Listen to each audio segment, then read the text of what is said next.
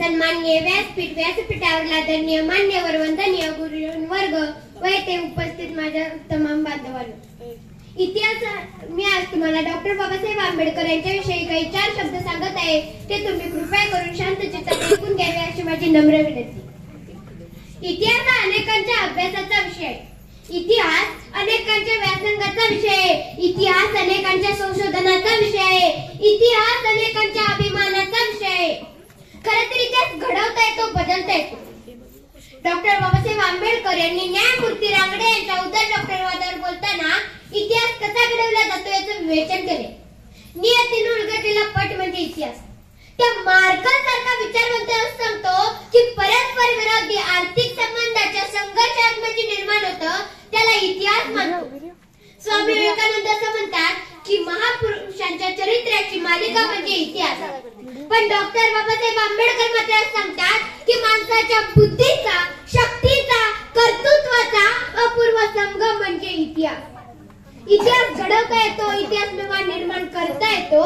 फक्त सजोटीची आणि प्रामाणिक माणसं हवी जी बुद्धिनिष्ठ असतील आणि समता स्वातंत्र्यता बंधुता या समाज व्यवस्थेवर निष्ठा ठेवत काम करतील अशी माणसंच पुन्हा नव्याने इतिहास माणसाच्या घराला वैभव धनाने येते. माणसाच्या मनाचे परिवर्तन माणसाच्या मनानेच होते. माणसाची परीक्षा माणसाच्या गुणानेच होते. आणि माणसाची किंमत पैशांनी होत नाही तर ती त्याच्या ज्ञानाने होते. ती त्याच्या ज्ञानाने होते. एकोणीशे पस्तीस एकोणीशे पस्तीस साली येवला येथे भरलेल्या अस्पृश्य परिषदेच्या अध्यक्षपदावरून बोलताना डॉक्टर बाबासाहेब आंबेडकर असे म्हणाले की मी हिंदू जन्माला आलो असलो तर मी हिंदू धर्मात मरणार नाही. आणि बघता बघता चौबाजून एक वेगळंच आंदोलन चालू झालं की डॉक्टर बाबासाहेब आंबेडकर यांच्या पाठीमागची भूमिका निषेध केली.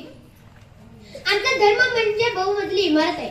जो वरच्या मजल्यावर जन्माला येतो तो श्रेष्ठ. आणि जो खालच्या मजल्यावर जन्माला येतो तो कनिष्ठ. वरच्या मजल्यावर जायला जिनाच नाही तरी वरचा कितीही भ्रष्ट असला तर तो कायम श्रेष्ठच राहतो. आणि खालच्या तळातला कितीही श्रेष्ठ असला तर तो कायम कनिष्ठ राहूनच नष्ट होतो. माणसाने माणसासाठी निर्माण केलेल्या कारागृहात मी स्वतः राहणार नाही आणि माझ्या दलित बांधवांना सुद्धा राहू देणार नाही.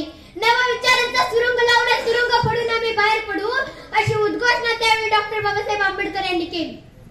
मोजून तरी कशी उंची तुमच्या कर्तृत्वाची तुम्ही जगाला शिकवली व्याख्या माणुसकीची. तुम्ही देवही नव्हतात देवदूतही नव्हतात. तुम्ही माणसातल्या माणुसकीची पूजा करणारे खरे महामानव होतात खरे महामानव होतात. रामजी बाबा कबीरपंथी उभ्या आयुष्यात त्यांनी मध्य आणि मास यांना कधीही स्पर्श केला नाही. आणि सगळ्यात महत्वाचं डॉक्टर बाबासाहेब आंबेडकर यांच्या सुपाच्या खांद्याचं सुद्धा व्यसन नव्हतं हे सगळ्यात महत्वाचं आहे. अरे सुभाषचंद्र बोस यांनी त्यावेळी घोषणा केली होती की तू मुझे खून दो मैं तुम्हें आजादी दूंगा.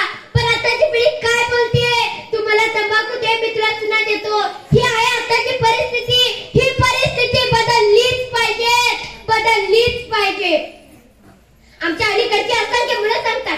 का शिकला नाही आमची परिस्थिती नव्हती हो. पण तसं काहीच नाही कारण परिस्थिती माणसाला घडवतही नाही आणि परिस्थिती माणसाला बिघडवतही नाही.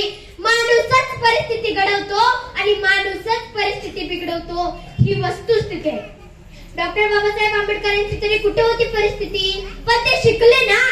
बाबासाहेबांचे वडील काय अब्जाधीश होते साधी पुस्तकं विकत घेऊन देता येत नव्हती त्यांना बाबासाहेबांना वाचण्याची आवड आहे पण नाही घेता येत एक वेळ उपाशी राहायचे पण परत पुस्तक आणून द्यायचे तिथे परिस्थिती नाही आणेल आणि सगळ्यात मोठा गुण तुम्हाला माहिती आहे का? डॉक्टर बाबासाहेब आंबेडकरांचा? त्यांनी त्यांच्या आयुष्यात वाचलेलं एकदा पुस्तक ते कधीच पुन्हा विसरत नाही. चुकूनही नाही. डॉक्टर बाबासाहेब आंबेडकर त्यांनी वाचलेलं पुस्तक जर काढलं दहा वर्षापूर्वीचं पुस्तकातलं त्यांना विचारलं तीनशे पासष्ट पानावरचा चौथ्या पॅरेग्राफ मधला तिसरा वाक्य काय आहे? तरी सुद्धा बाबासाहेब ते दहा वर्षानंतर बरोबर सांगायचे तरी सुद्धा दहा वर्षानंतर ते बाबासाहेब बरोबर सांगायचे. स्वप्न बघावी पण मिटल्या डोळ्यांनी नाही. उघड्या डोळ्यांनी स्वप्न बघावी कारण मिटल्या डोळ्यांनी बघितलेले स्वप्न सकाळी गायब होतात आणि उघड्या डोळ्यांनी बघितलेले स्वप्न झोपही गायब करतात. याला परिस्थितीवर मात करणे म्हणतात.